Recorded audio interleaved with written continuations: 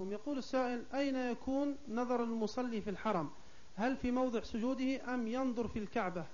لا ينظر إلى موضع سجوده. ينظر إلى موضع سجوده سواء كان في الحرم أو في غيره. نعم.